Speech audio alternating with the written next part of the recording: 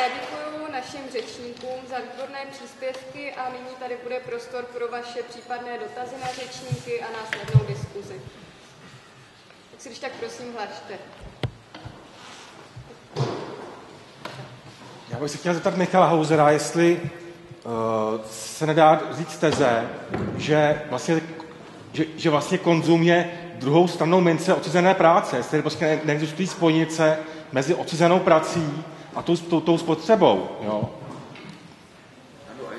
samozřejmě, že eh, konzum se dá chápat jako výplň od, odcizeného subjektu. Prostě řekněme subjekt, dělník, obecně, prostě pracující, tak není uspokojen svou prací. Jo, to je, je fenomén, kterým se dnes zabývají sociologové a psychologové. Práce nepřináší uspokojení. Čili vzniká tady potřeba nějaké náplně, náhražky. A ten konzum, konzumní kultura je tak působivá a silná, že tuto náhražku poskytuje. A proto se s konzumem tak obtížně bojuje. Otázka je, co bude, když eh, přístup ke konzumu bude stále obtížnější. Tady se objevuje jeden nebezpečný fenomén, eh, a to je fenomén autoreflexivního násilí. Eh, na londýnských předměstích před několika lety, myslím v roce 2011, tak byl výbuch, byly výbuchy násilí, zaměřené ale na vlastně plenění, splenění e, supermarketu nebo obchodů, které byly k dispozici a neměli žádnou myšlenku, nebyly levicové, pravicové, nic. Jenom šlo o akt, nímž, k nímž e, Eh, chtěli vyjádřit, že nemají přístup ke konzumu. A tou náhražkou, když se ptáme, co tedy může být náhražkou u lidí, kteří jsou dnes závislí na konzumu, ale konzum mít nebudou, tak na to je jedna odpověď, že touto náhražkou může být násilí které nemá žádný smysl, pouze to samotné násilí. Vidíme to na množících se příkladech zcela bezdůvodného násilí vůči jiným lidem. E, v Americe, ale i e, v Evropě se objevují případy, jak známo, e, kdy někdo zabije jiného člověka nebo několik desítek lidí bezdůvodně. Čili v tom se dá chápat také reakce na určitou e, pocit nebo na, na, na e, to, že lidé nemají přístup ke konzumu, a nebo že konzum jim neposkytuje slast.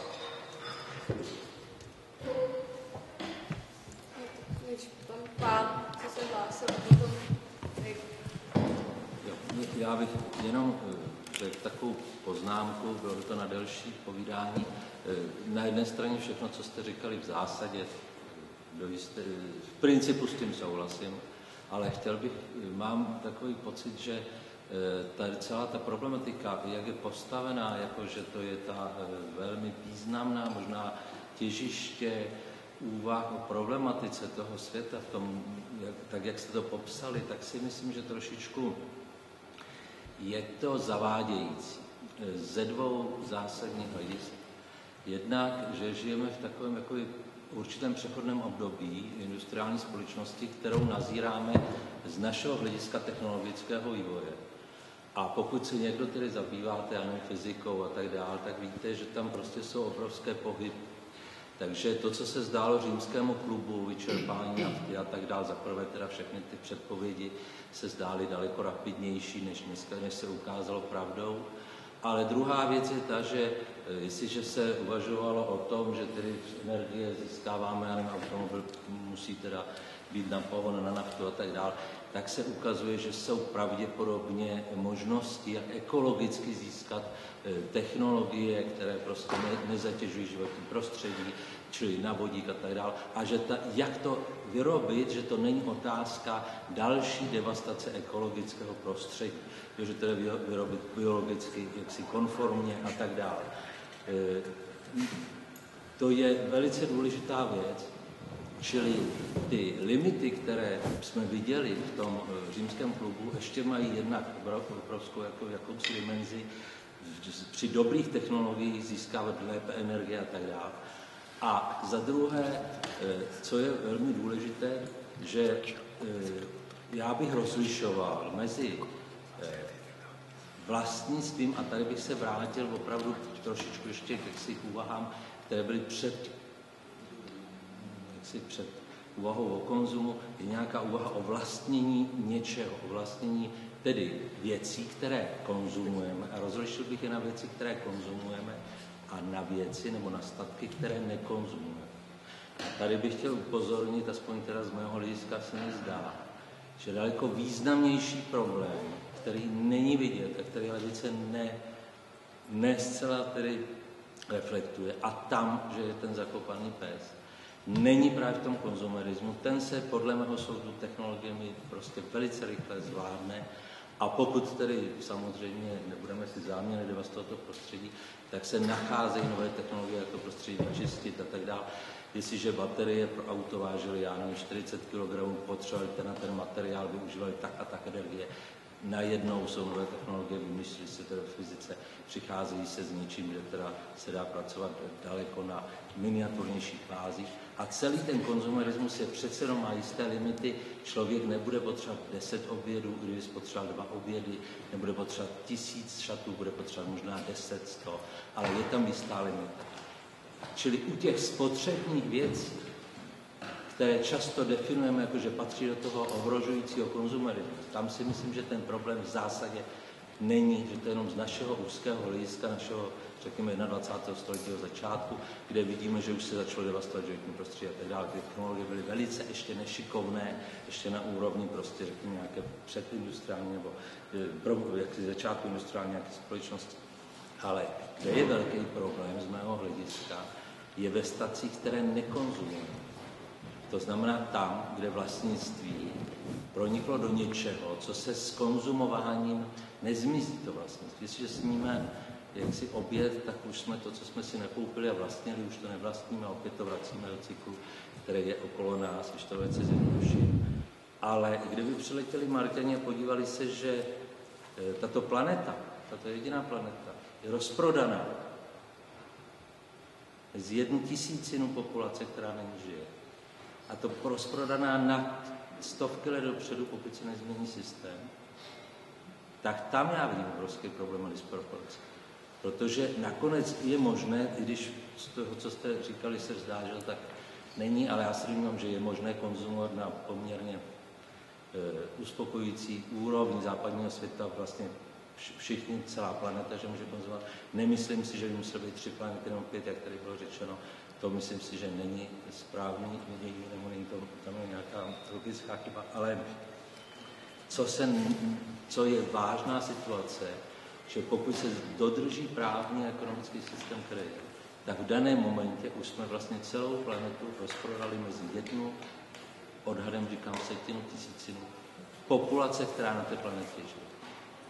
A těm, kteří vlastní tu planetu, jsme dali obrovská materiální, politická a e, jaksi manipulační práva vůči těm ostatním a nemůžeme jim sebrat a oni, je, oni, to neko, oni toto své vlastnictví nekonzumují. Oni ho naopak dál a dál upevňují, drží, čili vytváříme novou šatku, která prostě bude ovládat možná větší část populace, která sice bude moc konzumovat, ale svým způsobem bude vlastně naprosto bezprizorný. Teď jenom skrču. Já předám mikrofon další, eh, ale jo, všechny eh, všechny konference OSN, eh, kvůli oteplování klimatu, tak skončili fiaskem, naposled v Kodani. Otázka je, proč i nové technologie, jako jsou sluneční, jsou sluneční panely a tak dále, tak dodnes, eh, dodnes nevede k, ke skutečným efektům globálně.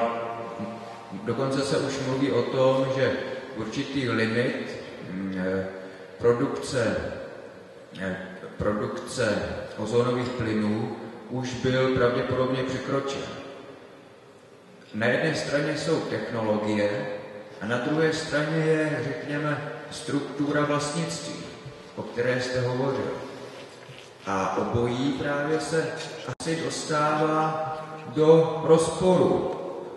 Znamená, že tady eh, je spíš zapotřebí se zaměřit nejenom na ty technologie, které nejsou a nikdy nebyly eh, samospásné, ale na politiku, na strukturu vlastnictví, která je možná hlavní bariérou k řešení ekologické krize. Ekonomika. Já na tebe přímo navážu. Eh, samozřejmě, že ty technologie, jakékoliv, musí mít podmínky, aby mohly být aplikovány v masovém měřítku. Protože existují, to nestačí, to musí být podmínky na to, aby mohly být aplikovány. A já mám takovou vrcholní provokativní tezi, tady asi dá nerozvádět, to bylo na samostatný seminář, že eh, ty technologie, které teď eh, jsou částečně aplikovány a z určité části jsou stále v špíku, ale vymyšleny, eh, prostě nejsou v souladu s tím systémem. Řečeno jednoduše, prostě nemohou být plně aplikovány za kapitalismu, protože ten systém nezničili. A to samozřejmě ta alita není tak hloupá, to. Ale e, pokud bude pokračovat ten závod ke dnu, což se zatím zdá, že pokračuje, tak to stejně podle mě dojde. A potom jako by tam se ukáže ta plná sebedestruktivita toho systému. Vy jste zmínili jednu hrozně důležitou věc, které vlastně hovořili Míša, akorát z jiného úhlu. A mně se hrozně líbila taková poznámka o tom rozporu konzum a austerity, když škrty dneska, ten tlak jakoby na to uskloňování se. Ten problém dluhu je dlouhodobý, to není žádná nová věc, která by se nám tady najednou zjevila, že najednou jsou velké, vysoké veřejné dluhy. To se kumulovalo řadu let, ale až nyní je to vnímáno jako problém. A e, já se domnívám, že právě ty převážně finanční elity e, si prostě uvědomují, že ten e, systém končí a tím pádem tlačí na to, aby se ta redistribuce bohatství ještě urychlila a zmasivněla. Protože konec konců právě ta politika škrtů toho eh, takzvaného uskloňování se, že jsme si my měli na poměry, eh, vede k obrovské, neskutečné redistribuci bohatství. To je něco, o čem se málo kdy hovoří. Většinou se říká, no, tak oni se omezují, že jo, řekové byli líní a Španělé byli taky líní a asi všichni byli úplně líní a teď to musí jakoby vracet zpátky. A už se neví, že eh, bohatství, které se v těch zemích vytvářelo desetiletí, se koncentruje potom v rukou několika málo subjektů. To s tím samozřejmě souvisí. A ten tlak, potom to načasování právě souvisí s tím, do jaké fáze se ten systém dostal. Se vás. Ještě kolega vedl.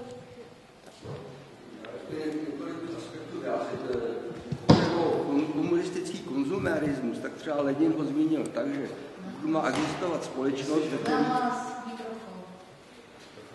ve který každý pracuje podle svých schopností a dostává podle svých potřeb, tak napsal, že tahle společnost může existovat, ale nepředpokládá ani tehdejší úroveň výrobních vztahů, ani tehdejšího maloměšťáka. To tedy znamená, že on řekl, že e, nároky komunistického člověka musí být realistické, jinými slovy. A je třeba si uvědomit, že tady ta komunistická prestruktura existuje. To každý solidární třeba zdravotní pojistný systém. Tam do toho přispíváte podle svých schopností, určitým procentem splatu a dostáváte podle svých potřeb, který je ta společnost schopná zajistit. Jo, takže to je v podstatě komunistická struktura. A pokud je dysfunkční, no tak protože v ní nefungují komunisticky myslící lidi. Jo, a to je, to je otázka právě toho komunistického konzumerismu.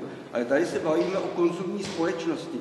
E, to je poměrně složitý fenomén, který má určitý nevím, kulturní aspekty, který má historické aspekty, který má ekonomické aspekty. A my se tady dotýkáme pouze aspektů ekonomických. A Přitom tyhle se vyskytovaly, ve, konzumní společnost existovala ve všech zanikajících civilizacích, ať to byly helenské, nebo například ve středoevropské renesanci. A třeba jako je dneska, tak e, smrt obžerství a smrt hladem vedle sebe existovaly. To bylo ve všech těch, těch úpadkových fázích. Jindy ne, jindy byla dobročinnost a nenechali umřít člověka. Jo, v konzumní společnosti prostě člověk nemá hodnotu tím způsobem. A já bych chtěl teda zmínit všechny ty symptomy, jejich pět, který charakterizují konzumní společnost, který existoval ve starém Řecku, ve starém Římě, v renesanci evropský. A to jsou především, že se začínají prohlubovat ekonomické rozdíly, že se zvyšuje rozdíl mezi chudýma a bohatýma a nakonec se vytváří vrsta oligarchie, která je naprosto egoistická, která vůbec má, akorát vysvětluje svoje zájmy a na společnosti nezáleží. A třeba ve starém Řecku, tak oligarchie nech, strpěla vládu jakýkoliv nepřátel Atén, klidně třeba i, myslím, Spartany, pokud jim nechala majetek. Druhý symptom, a ten je taky velice důležitý, je rozpad tradiční rodiny. To má daleko sáhlý důsledky ne na e, populační pokles, to má, to má prostě důsledky na výchovu dětí, na, na, na morální vývoj těch dětí a na všechno ostatního. A prostě e, za, momentální západ, kde ta populace opravdu tvrdě poklesává, tak se z toho dostane tak, že prostě tuhle populaci, třeba bílou, nahradí jiný populace, který prostě se dokážou množit, který si zachovali tradiční rodinu. Eh, dalším symptomem je konzumní společnosti obrovský nárůst kriminality, ať ekonomický, tak, eh, tak prostě násilný. To bylo ve všech těch úpadkových společnostech.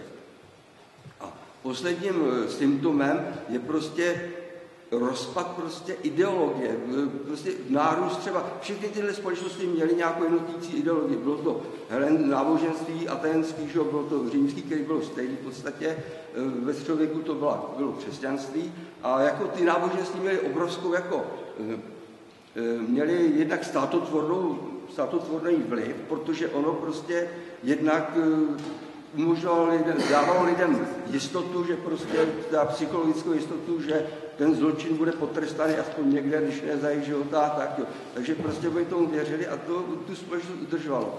A třeba, já nevím, v starém Řecku ty vozy, ty prostě každý, všechno mělo svého boha. Jo. Třeba eh, rodina měla svého boha, manželství mělo svou bohyni, eh, žena při porodu měla svou bohyni, klát zestup obilího. To byly proto všechno propracované do detailu. A když tomu ty lidi přestali věřit, a oni tomu potom přestali věřit, protože poznatky, které viděli, jim naprosto jasně řekli, ten Bůh neexistuje, to, všechno, to bylo všechno vymyšlené.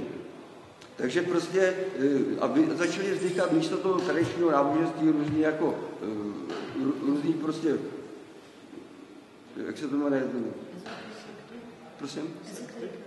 No, všechny tyhle ty různý směry, jako já nevím, věštění a to, to, to, to bylo tenkrát tradiční, ale byly různý ďábelského čarodějnictví a tak to, jo. Místo toho tradičního náboženství, protože se věřilo třeba různým čarodějům nebo tak. Takže, ale tohle to, tu společnost evropskou nebo západní, ta přece byla postavena na křesťanství. A dokud fungovalo křesťanství, jak ten kapitalismus byl, v podstatě humánní, nebo ne humánní, ale e, ty lidi byli skromní. A dneska prostě v podstatě celé planetě dneska chybí jednotící ideologie, která by spojovala ty lidi, která by, naopak planeta je roztříšená ideologicky na různých v podstatě nesmyslných věcí, které nikdo nevěří. Ale ty lidi, kteří ty ideologii věří, třeba muslimové, tak jsou schopni proto obětovat i život. No? A jsou, žijou skromně, třeba mají mnohoženství, že jako, ale takže po, ty No tak je, je, dobře, takže otázka je, já jsem musel vysvětlit, o co jde, jo. Takže otázka je taková, eh, jakou váhu kladete ideologickým aspektům eh, existující konzumní společnosti. Odpověď Altiserovská, že ideologie je věčná, ideologie existovala, existuje, bude existovat, protože to není jenom nějaký názor, myšlenka, ale je to určitý ta forma, jak vnímáme skutečnost. Ta, ta ideologie působí na jiné rovině, než je vědomí.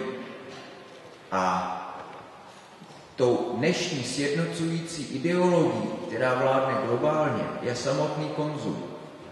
Ta ideologie existuje, to je konzum. Jinak je tady rozdíl, jak jste popisoval ty fáze, konečné fáze těch jednotlivých civilizací nebo epoch, eh, v tom, že ta eh, dnešní eh, kultura tak ztratila vnitřní diference. V renesanci nebo na konci antiky, v Aténách, tak tam stále existovaly na konci té doby, tak rozdíly mezi kulturou nejvýše postavených vrstev a většiny. Ta kultura, řekněme, byla, eh, se vyznačovala prostě určitými kulturními symboly. Například jiným způsobem řeči, jo, nebo jinými zájmy. Můžeme ale říct, že v té současné konzumní kultuře tak nastal jev, kterému se v ekonomii říká trickle down, prokapávání dolů. V ekonomii, v neoliberální ekonomii, teorii, tak tam je vládne představa, že eh, čím více bohatý, tím lepší pro všechny, protože to bohatství bude postupně překapávat dolů. Ale my, my můžeme spatřit vlastně jediný bod, ve kterém to opravdu funguje. A to je současná kultura. No, protože tam vlastně dochází k tomu, že například značkové oblečení, značky, tak překapávají směrem dolů. Dnes je možné si koupit značku za minimum peněz, nějakou, nějaké značkové oblečení, protože se e, rozšířila produkce těch značek. Tak a zároveň dochází ale k opačnému procesu, že e, nevím, jestli k tomu je v teorii neoliberalismu nějaký odpovídající termín, že to, co je dole, tak prokapává nebo kape směrem, dostává vzlíná směrem nahoru. Že totiž eh, to, co je dole, nebo co bylo tradičně spjato s nižšími vrstvami, jako je třeba vulgární slovník, tak se dostává nahoru, těm vyšším vrstvám. Nebo třeba eh, určité rysy středních tříd nebo těch parveny, eh, že prostě, čemu se říká polovzdělanost, tak najednou se rozšiřuje na celou, celou společnost. Takže dne, eh, před, hm, možná u nás to bylo ještě před 20 lety, ale eh, po listopadu, tak politici se styděli za neznalost. Za to, že něčemu eh, nerozumějí, nebo že třeba neznají nějakého teoretika významného, nebo že nečetli významné knihy. Tak za to se styděli. Ale dneska se to celé obrátilo a oni říkají, ti, kteří mluví o nějaké literatuře, tak to jsou elitáři. A my se nestydíme za to, že jsme hloupí. Čili tady dochází k tomu, že ta současná vládnoucí kultura se vulgarizuje a zároveň, čili dochází k, k, jaksi, k tomu, že ta vládnoucí vrstva přejímá schémata širokých vrstev a zároveň dochází k opačnému pohybu, že symboly té vládnoucí vrství, tak prokapávají směrem dolů, ale jsou to pouze symboly.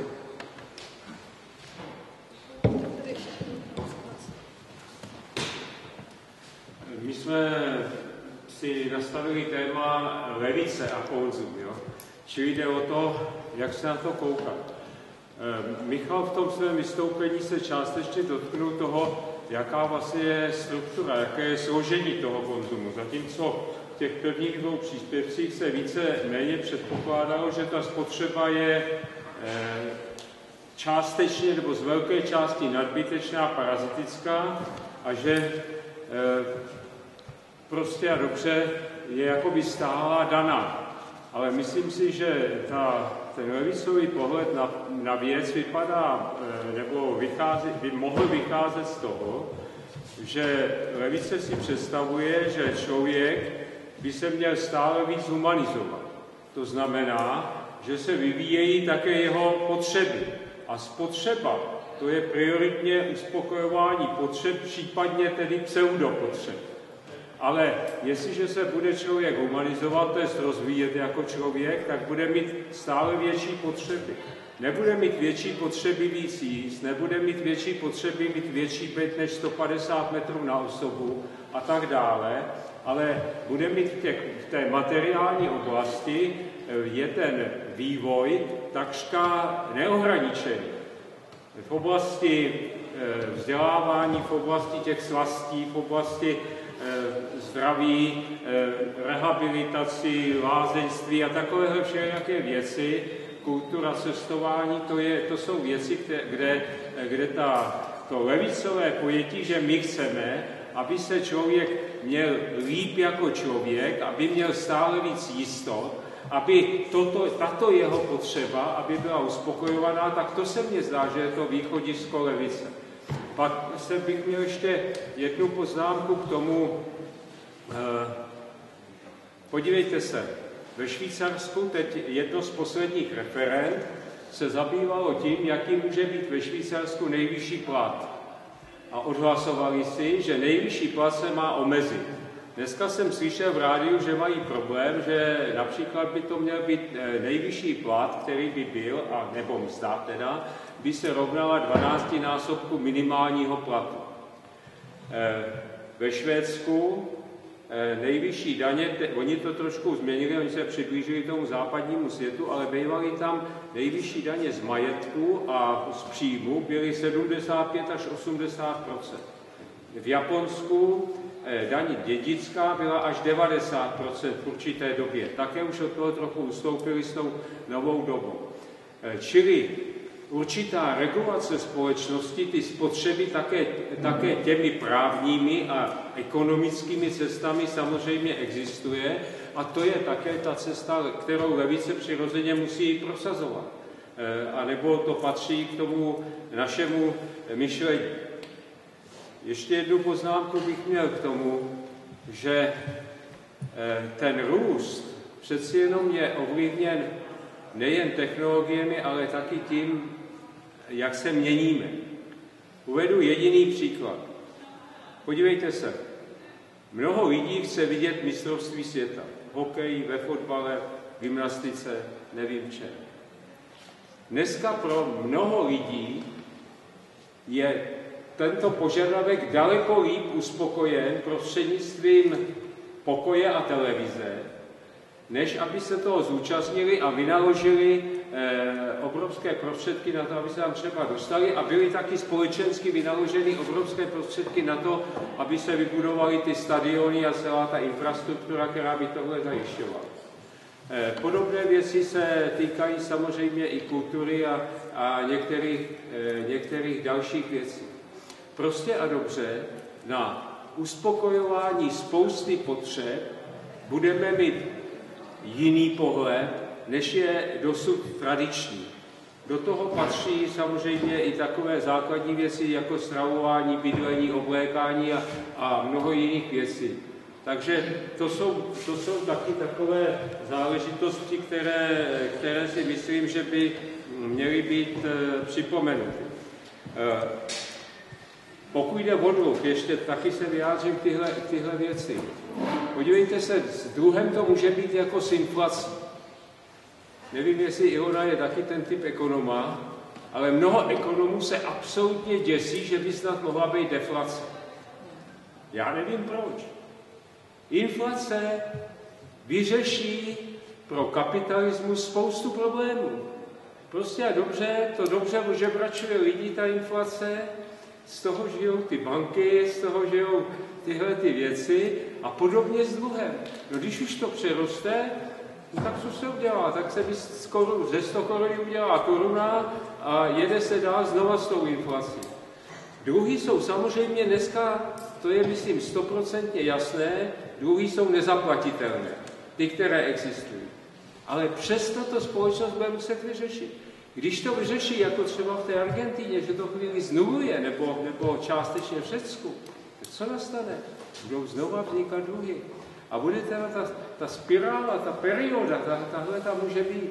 Prostě te, já plně souhlasím s tím názorem, že eh, kapitalismus a ta konzumní společnost v tom pseudokonzumním smyslu jsou prostě věci, které jsou spojeny a že e, pokud zachováme ty základní principy společnosti, jak ta kapitalistická společnost dnes vypadá, tak nemůžeme uspokojivě dlouhodobě vyřešit taky ten problém konzumerismu. Čili chtěl chci se zeptat, jestli těmto otázkám máte, nebo názoru máte nějaké své názory. No, děkuji za připomenutí humanismu na začátku vašeho tvého komentáře. Právě když se mluví o konzumní společnosti nebo o užitné hodnotě, tak vlastně se stále pohybujeme pouze ve vztahu předmět, jeho spotřeba. Je tady něco daného, my to spotřebujeme. Ale je to modus passivity, tak řečeno, podle Erika Froma.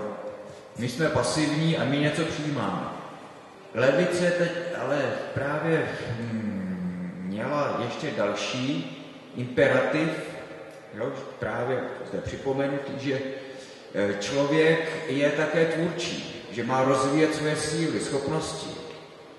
A e, komunismus, tak to je společnost, e, která by měla umožnit, aby každý jednotlivec mohl rozvinout maximálně svůj potenciál. Čili tam vlastně převáží ne pasivita, ale aktivita. Proč to tak je? Je to v pravém opaku k dnešnímu pojetí. Dnes se řekne, studuješ, ale studuješ pro sebe. Je to pro tvoji budoucí kariéru. to v komunismu nebo prostě v levicovém hnutí, tam, eh, řekněme, studium, tak je i když to působí jako tvoje záležitost, tak ve skutečnosti je ve prospěch společnosti. Jo, podle Marxových formulací, no tak eh, vlastně rozvoj sil individua je obohacením celé společnosti. A komunismus já chápu tak, že je to eh, neustálá pobídka ze strany společnosti proto, aby individua rozvíjela i síly, které bezprostředně nejsou ekonomicky efektivní. A proto já sám jsem komunista.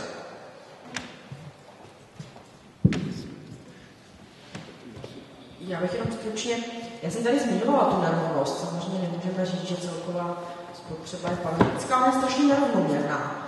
A e, ten konzumerismus e, tu nerovnost e, ještě dál prohlubuje vzhledem k tomu, v jakým způsobem právě probíhá ta mezinárodní dělba práce. To je jedna teze. A druhou jsem taky už vlastně naznačila, to je to rozvíjení se a uspokojování těch nemateriálních potřeb, které ale svou podstatou buď prospívají teda celé společnosti, nebo mají tu inkluzivní část, tedy pokud se nemají stát luxusem, jako ta třeba zdravotní péče, jo, ty pokusy tady samozřejmě jsou a budou, ten systém to potřebuje. Um, v tom případě ale skutečně potom už hovoříme o jiném systému, protože tady bude eh, jiný aktér, už to bude nějaký decentralizovaný, třeba komunitní, nebo to bude stát, nebo kombinace obého, ale potom samozřejmě potřebujeme značné množství eh, veřejných zdrojů, redistribuci, prostě jo, už jsme někde jinde. To znamená, tady skutečně jsou přirozené faktory, třeba právě tenhle typ potřeb, i související s tím demografickým vývojem na západě, který nás bude posunovat směrem od toho současného systému, pokud ovšem, co dneska ještě pořád částečně chápeme jako základní potřebu, toho zdravotnictví, se nestane pouze výsadou několika velmi bohatých jedinců například. No. A ty tendence na to jsou a samozřejmě nutně budou. No. Já to je exkluzivní a samozřejmě tím pádem privátní.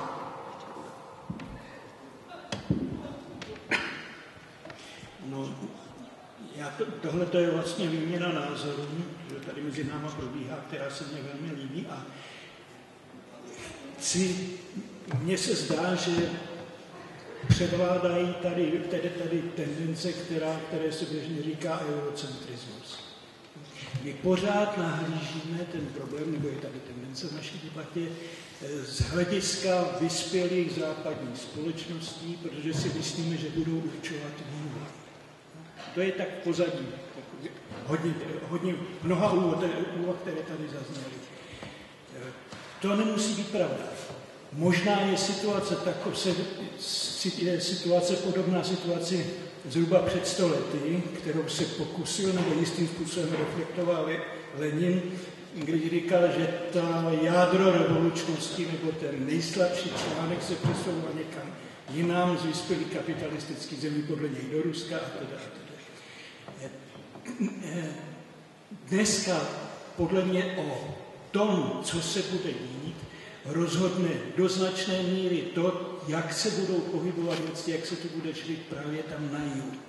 Co se stane, když do, do pohybu do hry vstupují eh, miliony, stovky milionů dokonce lidí do nového typu práce, vykořišťování v Číně.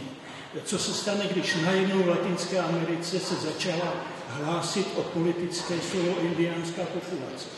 To, jako ten Charles, to vůbec není jako nějaký osamocený jev, to je projev velice hluboké tendence, která je, má ty celé Latinské Americe a tak dále a tak dále. Takovýchhle případů by se dalo uvést víc.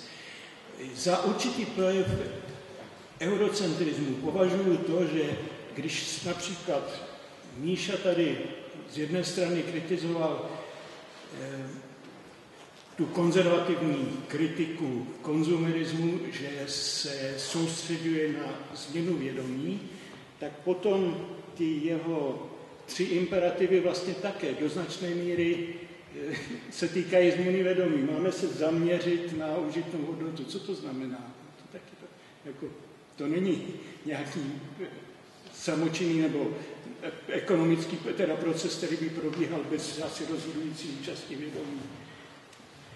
Myslím si, že to, ty faktory, které se týkají bytí, například velmi zajímavé, co říká Míša, je ten Adornov ideál, kromě nějakých vysoké jako kulturní úrovně, to, aby nikdo neměl hlad, tak o to, jestli má někdo hlad, jde především právě v těchto těch zemích. Jde o to, jestli bude vůbec se nějak žít, a to jde v Bangladeši, když spadne ta fabrika, ve které zajede tisíc jako dělnic, které vyrábějí značkové zboží. Abychom nebyli překvapeni, když se ten chléb bude lámat trošku nějak jinde, než si myslíme, že tady, a když to, abychom nebyli překvapeni, když to bude konfliktním způsobem. Nepřeju si to, nebo nemyslím si, že jako, že by to bylo ideální, ale vidím dost velkou pravdě, nebo velmi malou pravděpodobnost, že ty veliké pro to řešení těch problémů, které, o kterých tady všichni mluvíme, že je vyjde ze současné pokročilé kapitalistické společnosti. Ne, bude muset narazit na nějaký odpor a ten odpor přijde o tamtud, no, z těch 100 milionů lidí, kteří jsou dnes úplně novým způsobem vtahování do hry. Tak jenom máme tady ještě tři dotazy, nebo čtyři, ale paní Švehlíková musí odejít v 8 hodin, takže pokud dotazy, tak velmi stručně. A... Ne, tam byl první pán ještě úplně... Já bych tam možná začal dotazem na paní Švítlíkovou. Já vím, že vy jste se zabývala trochu tou, tou Latinskou Amerikou, nevím přesně, jak, jak ústředně je to vaše téma. Vím to z vašich článků na britských listech, kde jste třeba byla kritizována za příliš vstřícný nebo obdivný vztah eh, k někdejšímu venezuelskému prezidentovi. A já bych se právě zeptat, jestli něco z toho, o čem se tady dnes hovoří, vidíte v té Jižní Americe, tak jak o tom někomu pan Převrátil, my jsme to neviděli jenom z té e, západoevropské nebo severoevropské perspektivy, jestli v té Jižní Americe dneska se vytváří nějaký nový vztah ke spotřebě, jestli třeba se to nastavila otázka, e, zdá teda spíše jako rovnostátní spotřebu nebo spotřebu, která jde ke skutečným potřebám, jako tomu, jak jsem to mluvil, tady extra nebo vůbec o omezování ekonomického růstu. Třeba v souvislosti s nějakými tradičními hodnotami eh, indiánů, který které tady zmínil pan, eh, pan, pan Čuráko také. Eh, jestli teda tam třeba dochází vůbec spochybňování té myšlenky toho ekonomického růstu a zvyšování životní úrovně vůbec.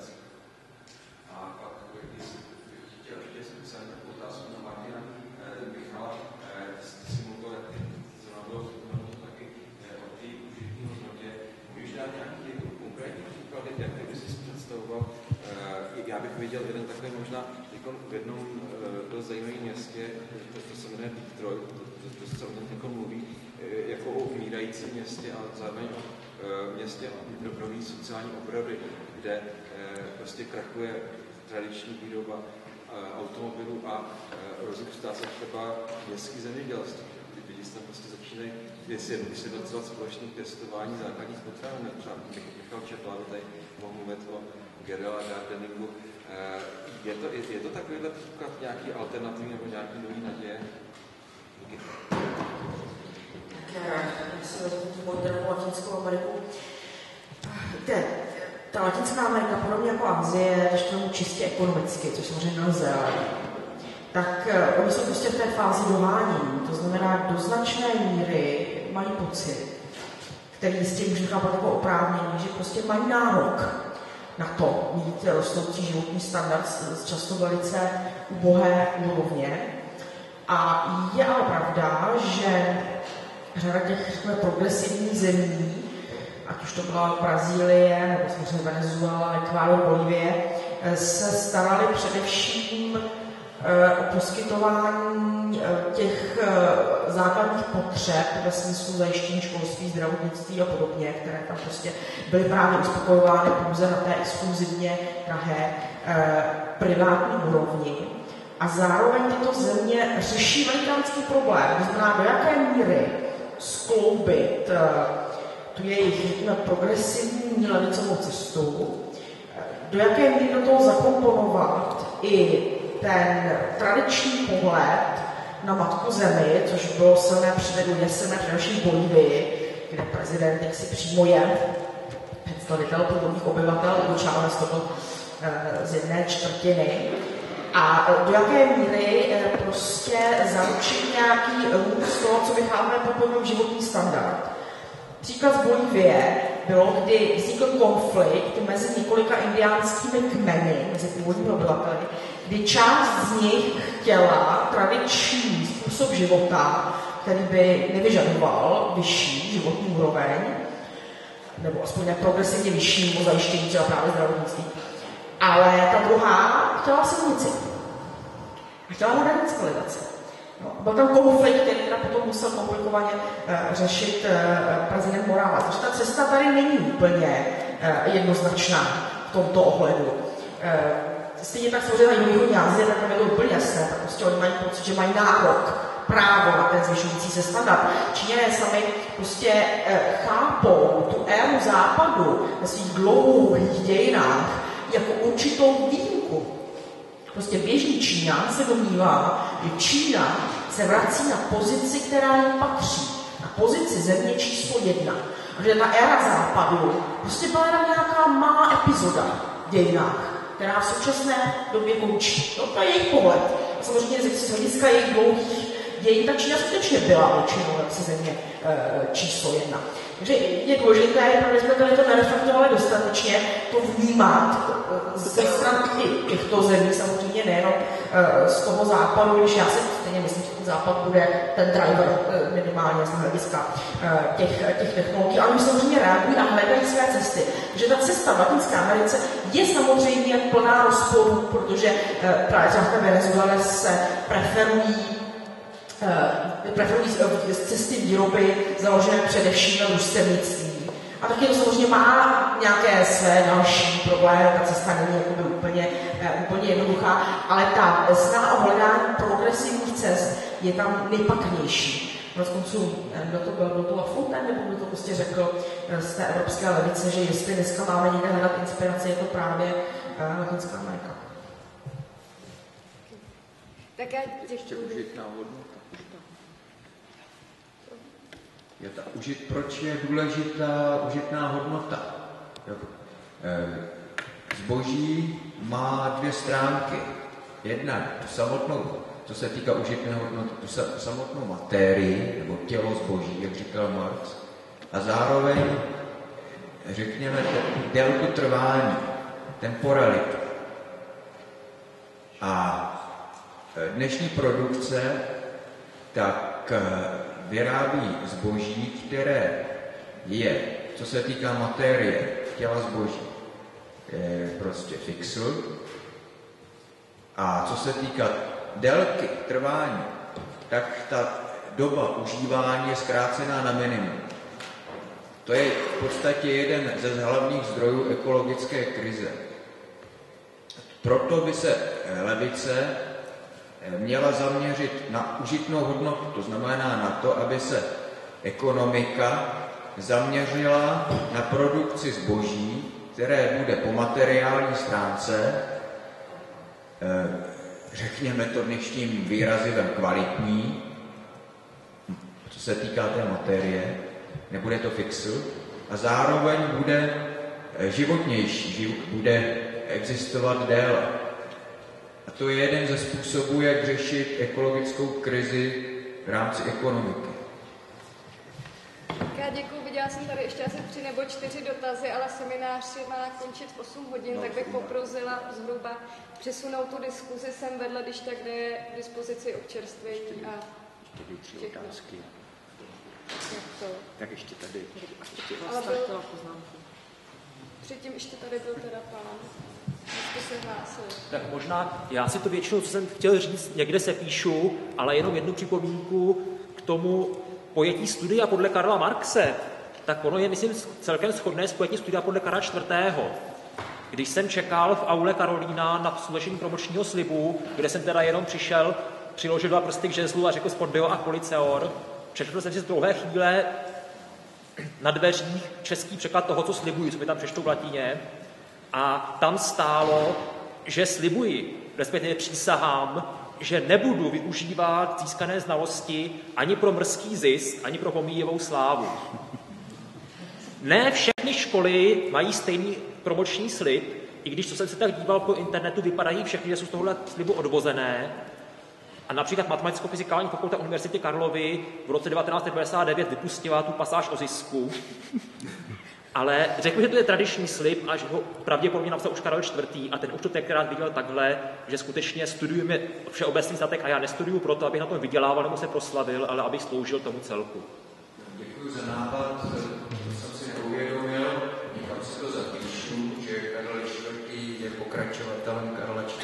Takže, pardon, Karel, pardon, pardon, Karel Marx je pokračovatelem Karla IV.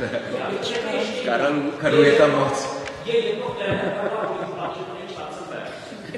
Protože Marx, Máj nebo Karel IV. ti jsou všichni dobří.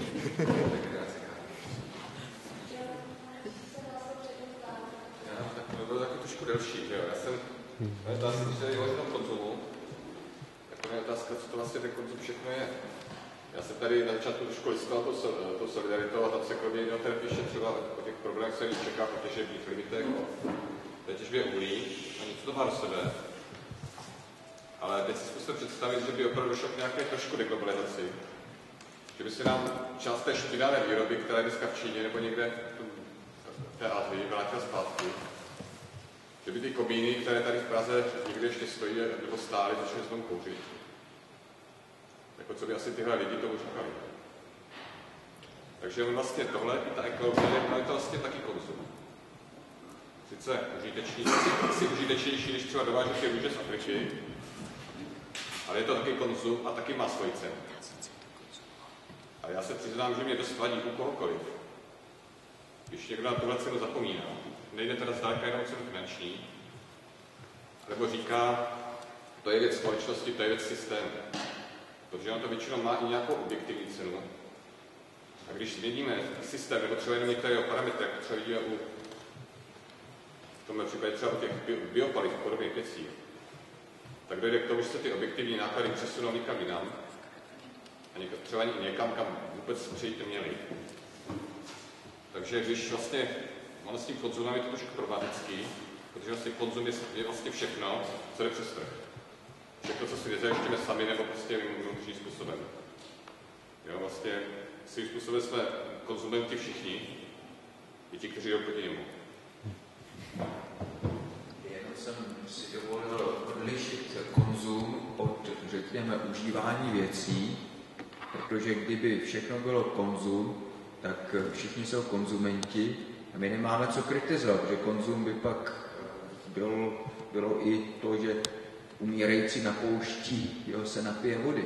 Takhle, jako ano, jako znám, jde o to, že všechno tady má svou cenu, nejenom ty růže to byla správná poznámka, ale i věci, které jsou správné, které jsou třeba nutné, ale někdy se, že myslím, že se hodně lidí často zapomíná na to, co je, jaká je to jejich cena. Říkám nejen penězích. A nebo se to převádí někam jinam na ten systém a to taky není. Jako, mám také pocit, že se říká zapomíže systém. Tak to je to úplně poslední, k čemu se měl dojít. Už po vyčerpání času. Já jestli mám poznámku, že jedna z těch vlastností kapitalismu je, že umí oddělovat zisky a náklady velmi efektivně, geograficky i jaksi přímě. A že stojí vlastně na tom, že neustále ty náklady výroby nebo svého fungování přenáší na jiné sféry. A řekněme, že to víceméně dvě hlavní sféry kde to jakoby není vidět, ale o tom více si pod sebou podřezává tu větev. To je ta iracionálního systému.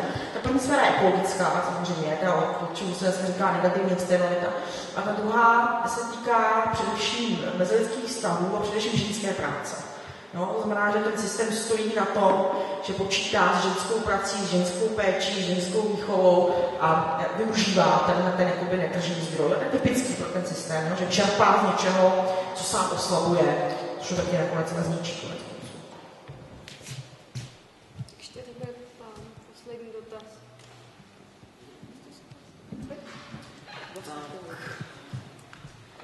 Já bych měl dotaz, dvě krátké otázky, především na paní Švihlíkovou.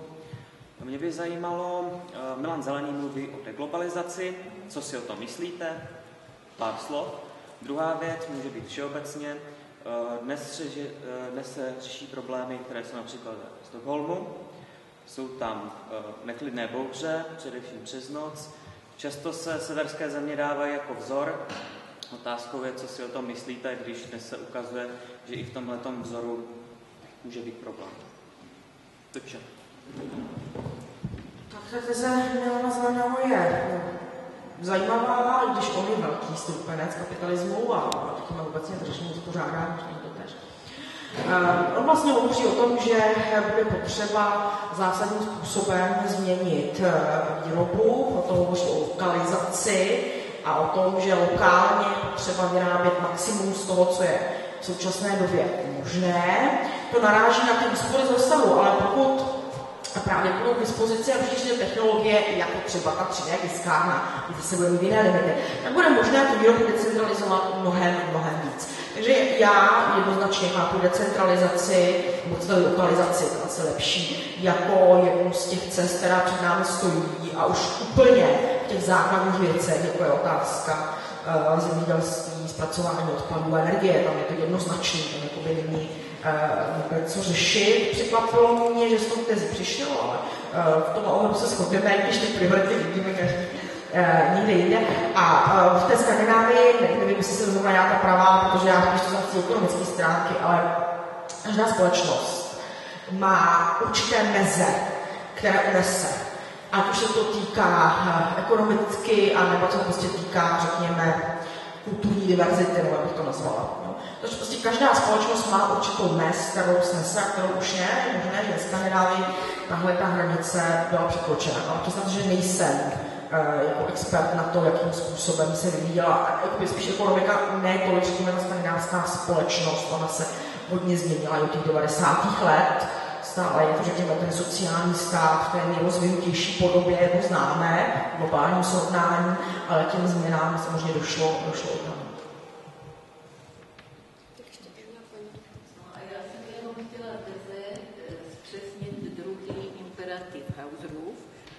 A sice říct, že na základě vystoupení Vaška, že levice by se měla orientovat nikoli pouze na teda by neměla orientovat spotřebu nikoli pouze na užitné hodnoty, ale měla by orientovat spotřebu na eh, rozvíjení tvořivosti lidí.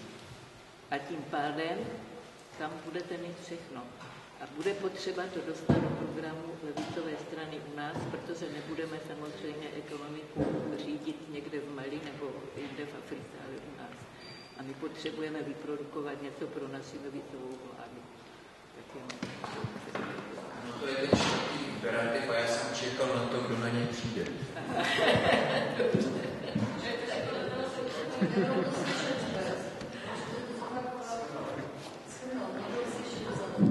Tím čtvrtým imperativem je imperativ tvořivosti a rozvoje lidského individua nebo člověka.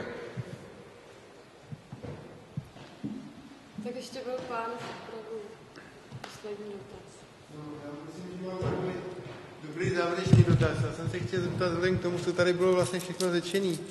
To znamená, že vlastně největší překážkou současného systému v podstatě je rolování dluhů a v podstatě omezenost planety. Tak rolování dluhů se dá řešit inflací a vlastně otázka omezenosti vlastně zdrojů tak je otázka vlastně technologií který, nevím, jestli teda vloženě nebezpečný, ale řekněme, jsou v současnému systému ekonomicky nepohodlný. Čili jsem se chtěl zeptat, do jaké míry vlastně ten současný systém je ohybatelný, nebo jestli vůbec existuje nějaký dno a pokud to dno existuje, tak kdy ho dosáhneme, nebo kdy, kdyby se ho mohlo dosáhnout, protože samozřejmě to je takový věštění z koule. A protože vlastně dosažení toho dna je takový vlastně startovací bod nějaký opravdový změny, že jo, skutečný.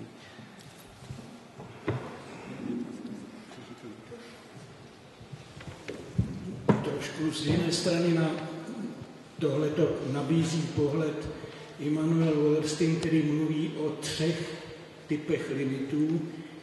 Jeden, jeden z nich je ten přírodní, přírodní zdrojů, že jednak se berou jako, má určité omezení, teda je nějaký limit toho, co lze ze země brát a kromě toho ještě kam lze ukládat odpady. Jo, že tohle to se vyčerpává. Ale jsou tady ještě další dva jistým způsobem se vyčerpávají, a to také souvisí se Skandinávií, nebo nasycují, nevím, jaké je lepší slovo, takzvané lidské zdroje. Do globalizace vtahuje do globálních ekonomických procesů dnes prakticky už všechno, Ázii, Latinskou Ameriku, eh, snad s výjimkou Afriky, ale to ještě přijde docela určitě jo, protože se hledá lacenější pracovní síla. A podle Volestina potom nastartuje e, nutně ten mechanismus, že s tím, jak se lidé, jak jsou prostě zapojeni do práce nejdřív velmi hrubě a prostě vykořišťování, což je třeba z příkladu Bangladeše, jo, tak se také naučí, jak se proti tomu postupně začít bránit. To přichází z generací, druhá generace dělníků v těchto těch nově zapojených zemích nebo zaměstnanců už se chová sociálně a politicky jinak než ta předchozí. Podle Wallersteina určitý limit pro kapitalismus je v tom, že všichni lidé si postupně začnou uvědomovat svoje možnosti a nebudou ochotni snášet tolik vykořišťování, že ten, eh, že ten, ta úroveň prostě tohoto odporu bude stoupat. A třetí věc je, to je možná diskutabilní, ale jak to říká Immanuel Wallerstein, že souběžně s tím porostou všude nároky toho spodku na určitě teda eh, prostých lidí, to znamená od underclassu až po celé určité části střední třídy, když vezmeme ten, to západní běžné třídění, na jisté druhy sociálního zajištění.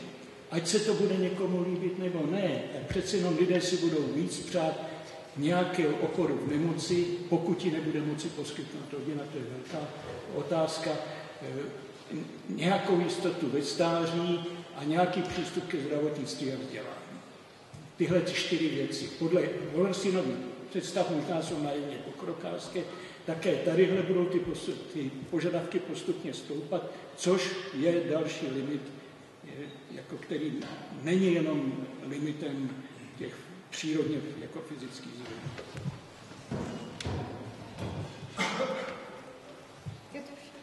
Tak jo, tak... Tady poslední dotaz, úplně poslední.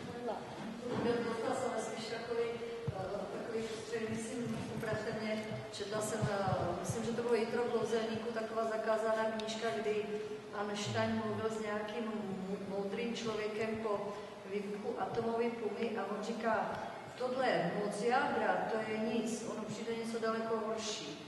Když poslední z pralesa člověk půjde někde po ulici a díky technologii uvidí dnešní seriál nás a bude chtít ho mít a uvědomí si, v čem on v jaké hruze žije. A to je vlastně ten konzumismus, že něco daleko strašnějšího než ta atomová puma pro společnost je konzumismus.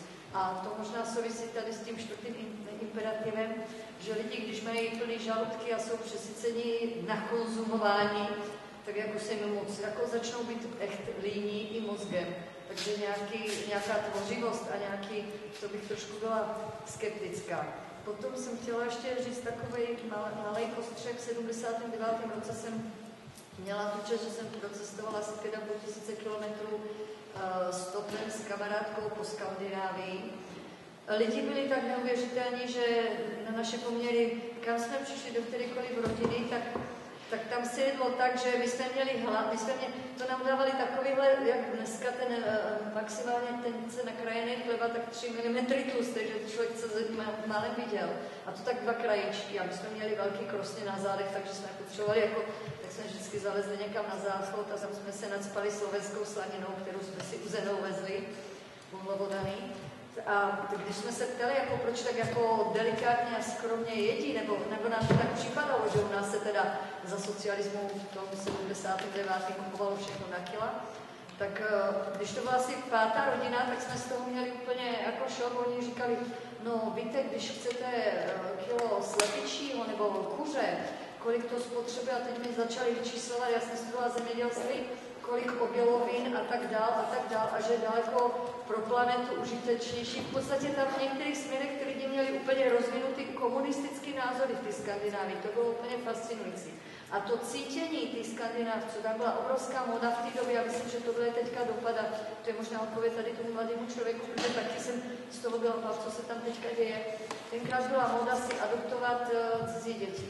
A uh, moda byla někdy i deset dětí a každý od někud jinut. Afrika, Amerika, Jižní Af- Azie, prostě a, zvládnout to, ta, ta aklimatizace těch cizích národností, to byl trošku problém.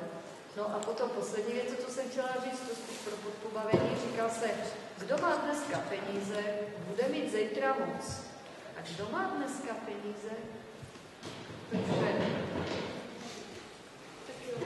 tím se to hezky zakončilo, teda poznámkou. Já děkuji za pozornost, děkuji hlavně našim třem řečníkům, kteří byli vynikající a může se volně pokračovat vedle.